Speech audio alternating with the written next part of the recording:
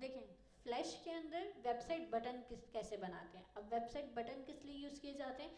आगे जब आप फ़ैन वगैरह डिज़ाइन करेंगे तो उसमें हम वेबसाइट बटन का यूज़ करेंगे। जैसे से अगर हम ऑन ऑफ़ का बटन बनाएँगे ऑन करेंगे तो ऑन हो जाएगा फ़ैन ऑफ़ करेंगे तो ऑफ़ हो जाएगा, चलना बंद हो जाएगा। ये लेक्चर नंबर आपकी बुक में है topic number nine page number fifteen है क्रिएटिंग वेबसाइट बटन्स सबसे पहले आपने क्या करना है? यहाँ से आउटलाइन कलर को क्लोज कर देना है। उसके बाद यहाँ से आपने कोई भी फिल कलर ले लेना है। उसके बाद यहाँ से आप लेंगे ओवल टूल और इसको ड्रॉ कर देंगे पेज के ऊपर। अब इसके बाद क्या करना है? आपने यहाँ से लेना है सिलेक्शन टूल और यहाँ से शेप को सिलेक्ट करना है। इसके बाद आप क्या करेंगे? यहाँ से मॉडिफाई मेन्यू में जाएँगे। यहाँ से लेंगे कन्वर्ट टू सिंबल और इसकी शॉर्टकट की है एफ़ एट हम हमें इसे कन्वर्ट टू सिंबल क्यों करेंगे? ताकि जब आगे हम बटन्स अपने क्रिएट करेंगे फ़ैन के लिए तो उस वक्त ये हमारे पास सिंबल के तौर पे मौजूद हो। अगर डिलीट हो जाता है तो हम सिंबल से इसे ले लेंगे। ठीक है? तो यहाँ से कन्वर्ट टू सिंबल करने के बाद, आपके पास यहाँ पे इस तरह से आएगा। विंडो इसके अंदर आपने अपने बटन का कोई भी नाम रख देना है। और यहाँ से टाइप में बटन पे क्लिक कर देना है। और यहाँ से ओके कर देंगे।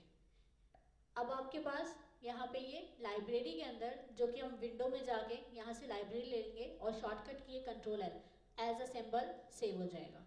अब आप देखें यहाँ पे फ्रेम्स आपकी डिफरेंट है। अब हमने क्या करना है? बटन के ऊपर डबल क्लिक करेंगे तो आपकी फ्रेम यहाँ पर चेंज हो जाएगी। पहले दूसरी थी, अब दूसरी हो जाएगी। पहले आपकी वन टू थ्री इस तरह की फ्रेम थी। अब आपके पास फ्रेम्स के नेम आ जाएँगे, जो कि वन से लेकर फोर तक हैं। सबसे पहले अब हम क्या करेंगे? यहाँ से जो फ्रेम ओवर है, इसके ऊपर क्लिक करेंगे और F6 प्रेस करेंगे। F6 प्रेस करने के बाद आपने यहाँ से क्या करना है? अपने बटन का फिल कलर चेंज कर देना है। उसके बाद आप क्या करेंगे?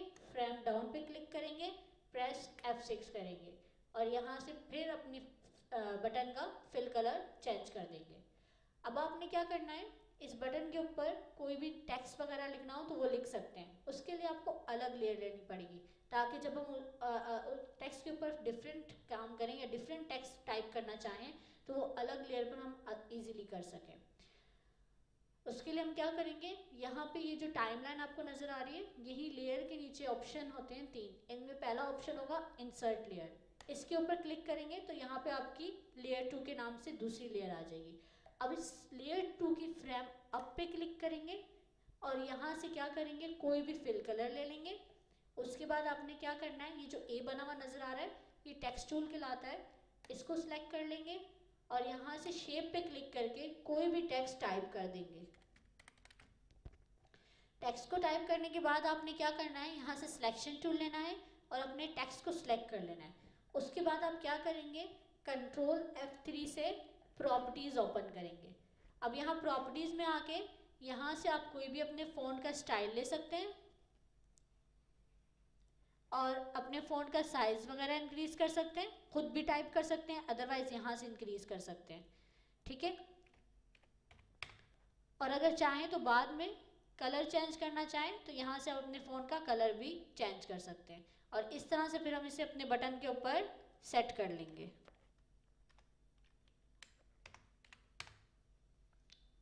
इसके बाद आपने क्या करना है? यहाँ से फ्रेम ओवर पे क्लिक करना है F6 प्रेस करेंगे। और फिर क्या करना है आपने? जो आपने टेक्स्ट लिखा हुआ होगा, इसके ऊपर डबल क्लिक करेंगे और यहाँ पे कोई भी दूसरा टेक्स्ट टाइप कर देंगे। वही सिलेक्शन टूल लेंगे प्रॉपर्टीज़ में जाके इसकी सेटिंग कर देंगे। साइज़ वगैरह इसका सेट कर देंगे।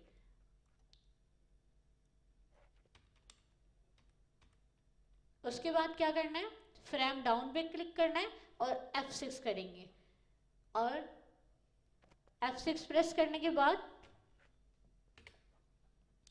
दोबारा आपने टेक्स्ट पे डबल क्लिक करना है और यहाँ पे इसका टेक्स्ट चेंज कर देंगे। और यहाँ से फिर इसका साइज़ वगैरह सेट कर देंगे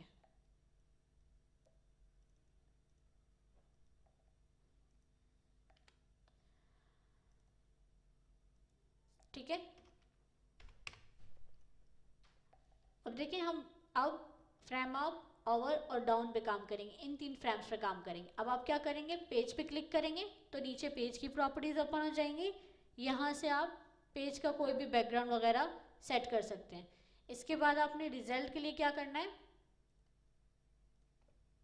कंट्रोल एंटर प्रेस करेंगे कीबोर्ड से तो आपका ये रिज़ल्ट आ जाएगा। अब देखें सामने